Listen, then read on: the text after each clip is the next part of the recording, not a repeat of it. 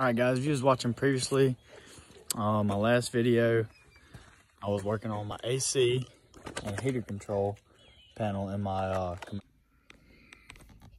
so at the end of that video, you notice that I just cut the video off, but I mean, it was pretty self-explanatory what was left to do.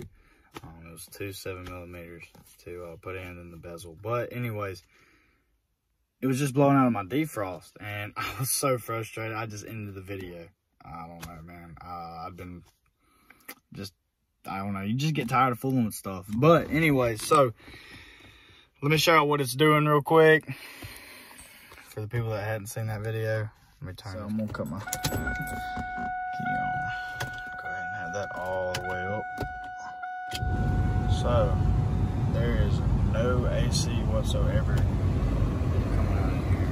but it's only coming out here in this defrost. So I'm gonna show y'all how to fix that issue. A lot of these early model, um, you know, 2000, early 2000s vehicles, late 90s, whatever, they were uh, controlled by vacuum. That was that was what switched was vacuum, and and I'm not sure if this is gonna 100% fix it. Um, I know this is probably a common part that goes out. And, and it's 20 years almost. It's 18 years old. So it's about that time. Um, anyways, so there's the part right there. I noticed it didn't have the, it was missing something. So I was like, well, maybe that could have something to do with it. But here it is right here, people. This is the piece. Yeah, that's the same exact part, believe it or not. But that's what I'm going to change out. Hopefully this video helps y'all out. Uh, hopefully it helps me out too. We're about to figure it out. So here we go. It's cut out. I pulled it out the groove. Um, just to, you know, make it more accessible. Off is take one hand. See if I can't set it up where y'all can see it. Oh. The best way that I had to do it was I took one hand and when I was pulling on it, pulling on it, I really can't show y'all. I was shaking the other one and pulling on it, and that one came right off. So this one's obvious where it's gonna go down 90, but these may be a little different. Let's see if I can't. See this one? Swigging a little bit, pulling. Oh, I was on there a little bit harder. That puppy is on me.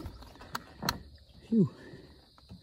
Just know the, the two closest together is going to go up top. They're complete 90. Oh. oh, there we go. Heck yeah. yeah, guys, you may feel like you're going to break something because you really have got to tug on these things in order to really get them off and some of them just ain't gonna want to go. Anyway, so you see I got, I got that off. I just got one more. And of course, the, uh, the last one's gonna be the biggest bitch. So basically, God, I wish I could see my hand. Basically what I'm doing, there's gotta be a better place. Set this up. Trying to set this up the best way that I can. All right, let's see. Oh no. God bless. Oh, come on, Camaro. Help a brother out, man. Help a brother. All right, so you see it here?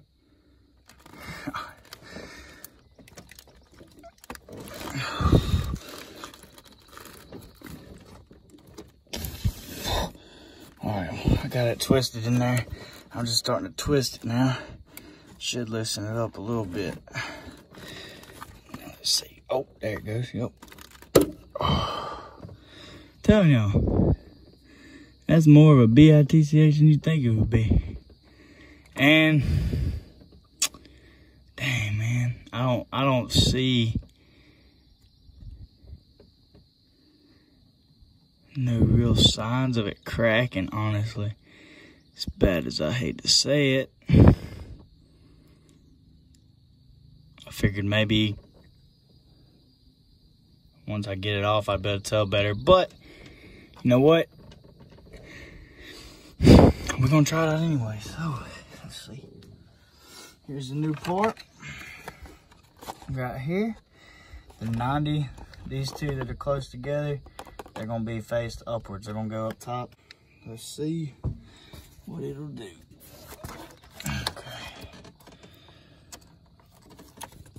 All right. I tell you what, it, it goes in a lot easier than it comes out. All right. I'm gonna go ahead and mount it since it's so easy just to mount that sucker. Mount it, whatever.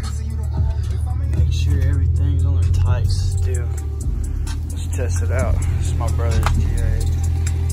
Let's go. He's trying to stunt.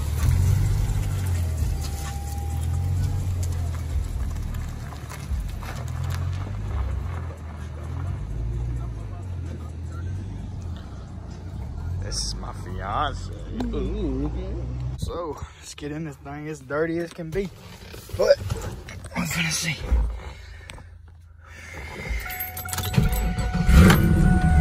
Turn that off. I don't want no jinx. I don't want to jinx it.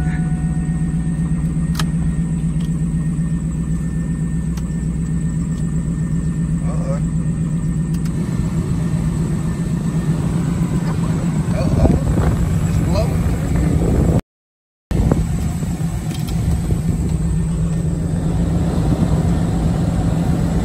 Uh-oh. It, it working. It's working. All right, guys. Try it. Oh, yep. All right, it's blowing through here. That's like the best it's ever. Honestly, it feels like. It honestly feels like it's blowing harder than it's ever blowed. I could be wrong though. Yeah, all of them's blowing. So that was the issue, guys. It was just that little vacuum. Um, that fixed it. Uh, I hope the video helps you out a lot. Um, now look, if that don't fix your issue, you got a lot more going on, man. They have a lot of actuators in these. I don't even believe these have, um, I don't even believe these have blend door actuators. I think they just have four different actuators across um, that that work the different vents and stuff. If I'm not mistaken, I could be wrong. I, I believe that's what I've heard. Um, but luckily for me, it was just that that one vacuum line. You do have a lot of vacuum lines up in here. I don't know if you can really see them. I can barely see them right now. Well, but they're like right back here. You can always check those if it doesn't work. Um, if it doesn't fix it. But it was just that three or four dollar part that I got from uh, O'Reilly's that fixed it. So hopefully this video helped you out. Did it help you out? Okay, sweet. She already got, she knows the deal. But, um, so yeah, that was the issue, guys. I just, um, like and subscribe and, uh, let me know if it helps y'all out. Heck yeah.